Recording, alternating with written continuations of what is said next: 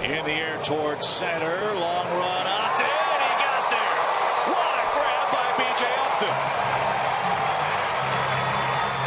One of his best of the year. He took away a hit from Asdrubal Cabrera. One out. He got an excellent jump on this sinking line drive.